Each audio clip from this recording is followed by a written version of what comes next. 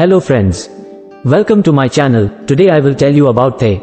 A distribution and logistics plan is an important business plan component, especially for businesses that rely on efficiently moving goods and services.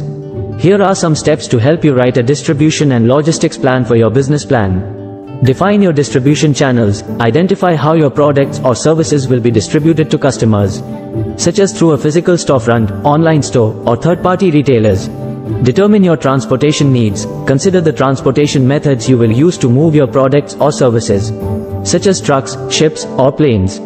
Determine the cost associated with each method and the delivery time frames. Establish inventory management procedures, develop a system for managing inventory, including tracking, ordering, and storing products or services. Consider using software or other tools to automate this process.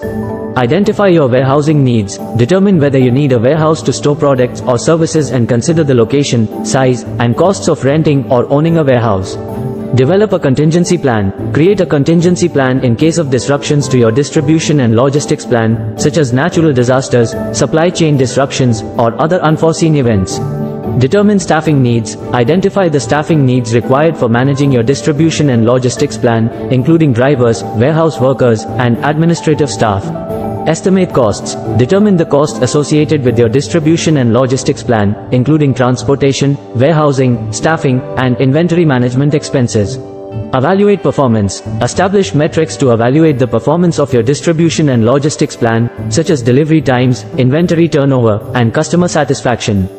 By following these steps, you can create a comprehensive distribution and logistics plan that will help you efficiently move your products or services and meet your customers' needs. Thank you for watching.